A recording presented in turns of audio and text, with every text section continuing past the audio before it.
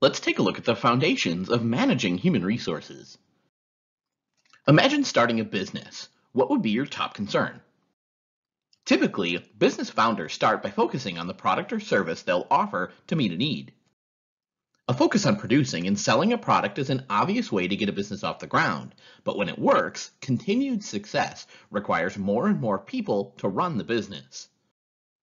A company's success requires skillful human resource management, the policies, practices, and systems that influence employee behavior, attitude, and performance.